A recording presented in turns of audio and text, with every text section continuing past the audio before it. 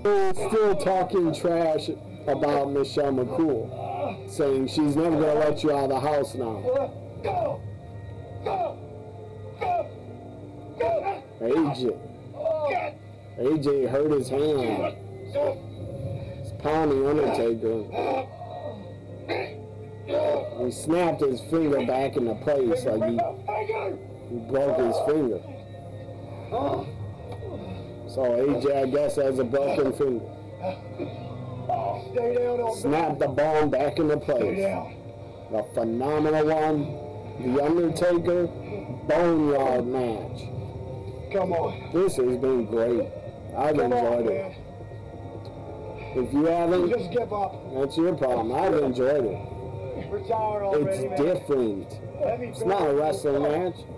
This is different. Uh, that noise is uh, me closing the network. Anyways, that was awesome. That Boneyard match was awesome. I enjoyed the hell out of it. It was fun. It was entertaining. It put a smile on my face.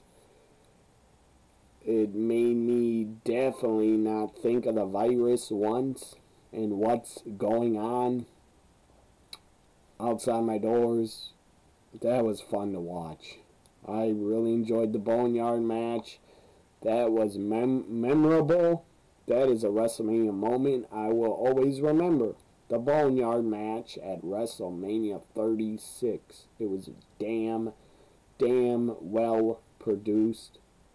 I thought it was really good what they did. The music, it felt like a, a real horror movie. It was awesome. So, uh, anyways, this ends my Boneyard match. WrestleMania 36 reaction. AJ Styles rests in peace. Night 1 is a wrap. WrestleMania Night 1 is in the books. I'll be back. Check out my WrestleMania Night 1 review. Also, I'll be back with WrestleMania Night 2 reactions. Check out my WrestleMania Night 1 reactions. Will be up on my YouTube sometime on Saturday night or Sunday morning. Bye for now.